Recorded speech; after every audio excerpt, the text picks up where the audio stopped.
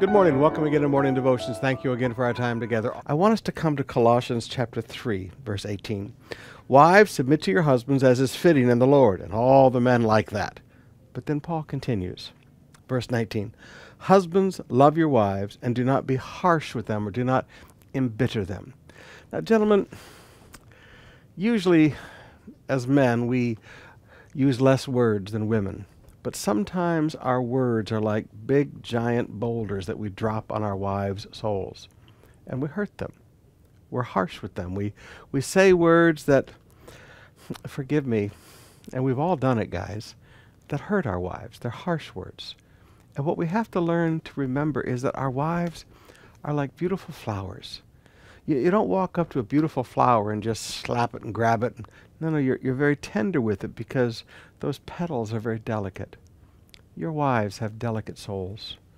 Do not be harsh with your wife, gentlemen. Now, if you've been harsh with your wife, guys, would you go home today? Maybe take a little present and say, Sweetheart, you know, my words lately have been just, they've been wrong. And I'm sorry, sweetheart. I love you with all my heart. Learn to let your words be tender and gentle, not harsh with your wives.